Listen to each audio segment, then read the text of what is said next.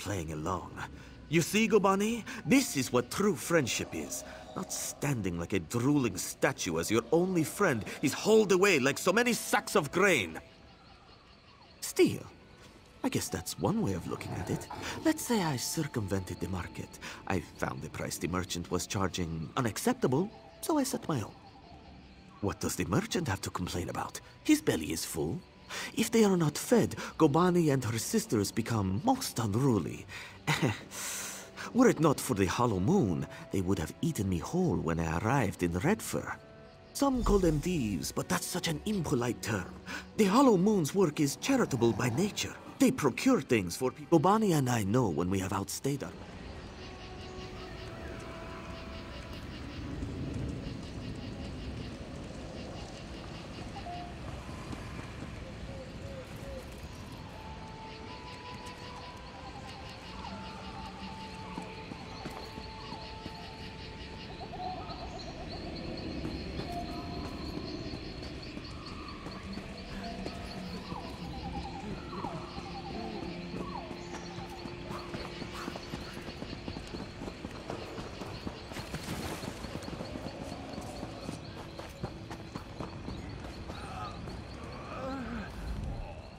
Pardon my saying so, but you were obviously doing well for yourself.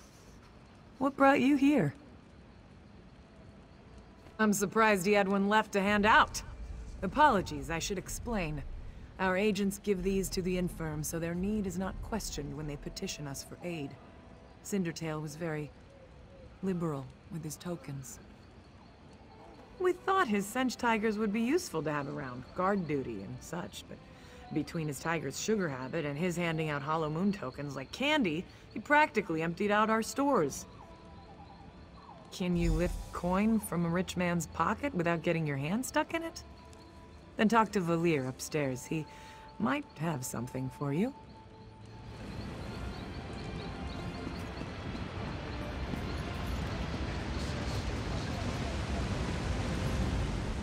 Vadi sent you? She thinks perhaps you can do work for us? Who are you to know so little, yet offer so much? Hmm. Maybe you are less interested when you hear what we do? You are familiar with the custom of property ownership, yes? I have a thing. It is mine. You take it, it is still mine, yes? Why?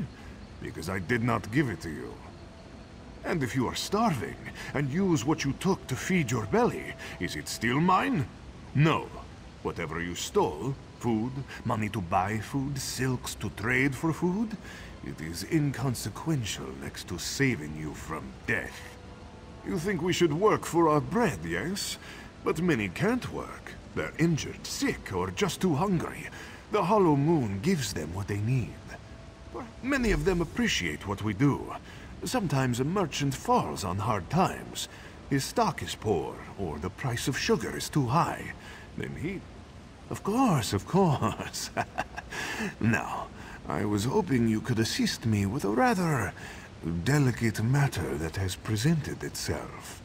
Shanra, leader of the merchants here, has threatened to call in the Thalmor. This is a problem. This place was not always a trading post. It was built upon a tomb, whose gauntlet of traps have kept it sealed for generations. There lies the trouble, yes? The only known entrance to the tomb is within Jode's Hall. The place is teeming with guards. We will need their cooperation to gain entry to the tomb. Go to Jode's Hall and speak to Tulaira. If I am right, she is no happier about Shanra's decision than we are. Once you are inside, you must retrieve what treasure you can, and return to me here. Thank you, my friend. While many have attempted the tomb's gauntlet of traps, none have returned to tell the tale. There are many dangers ahead of you. Be careful.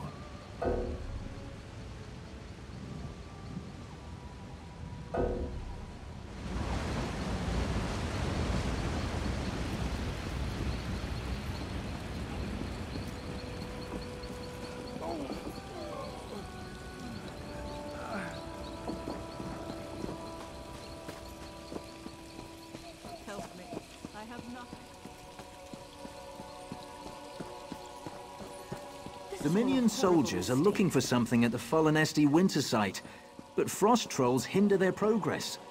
Frost trolls? She's waiting. What are frost trolls doing in Grahtwood? Are soldiers... I'm sorry, we can't chat for long. I'm waiting for someone. Really? Then you must be the newcomer everyone's talking about. Impressive work. Tell me, were you telling the truth about Cindertail, or were you just covering for one of your fellows?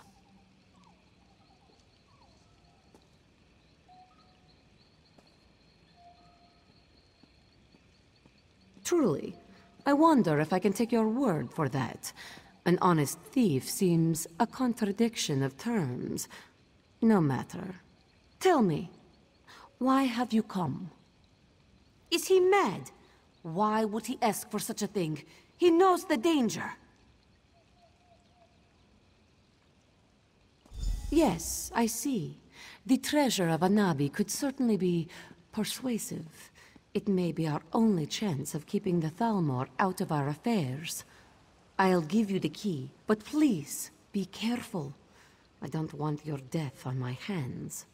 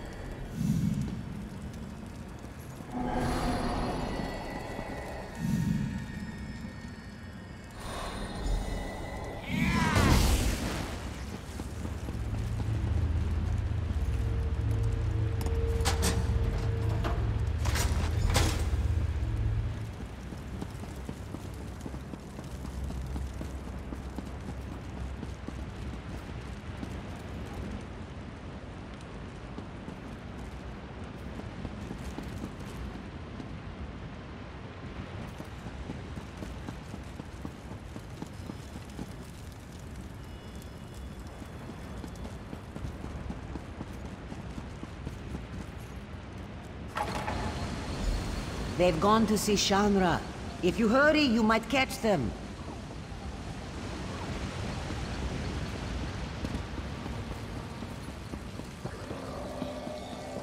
Pulara and Valier working together. Punabi, did you ever think we would see this day? No, Shanra. Come now, smile. Only good can come of such an auspicious alliance. You are wise to say so, Shanra. Such flattery. Tell me, why have you called me here? We have a gift for you, Shanra. To show our appreciation and solidify our friendship. And I believe it has just arrived. My friend, if you would do the honors... Shanra is honored. Tell me, what have you brought? Spices? Gemstones, perhaps? Ah! Wherever did you get this marvelous gem? Legend has it that Jone was struck by a bolt of light. For but a second, she turned from her twin, and overtaken by sadness, shed a single tear.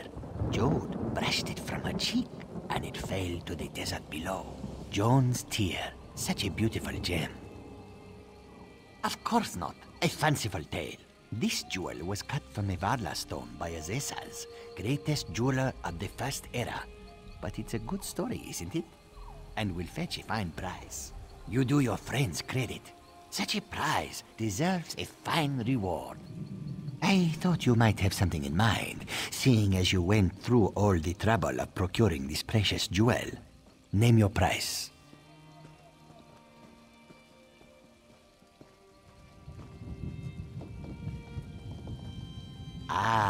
Clever and loyal. A rare combination. Very well. I prefer not to have the Thalmor looking over my shoulder anyhow. Instead, we will invest in Jode's chariot. Our coffers still need guarding, yes? As the hollow moon waxes, it is only fair that we balance the scales. We will invest significant capital in bolstering our esteemed protectors. Otherwise, we might find ourselves waiting in one of Valier's famous lines, no?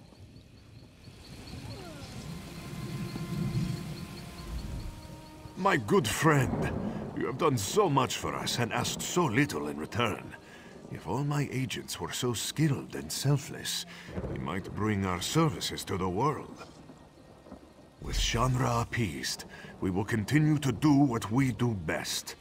While I am sure Jode's chariot will try to stop us, they will never blot us out entirely, no? Thank you, my friend. We would not be here without your help. I wasn't always a beggar.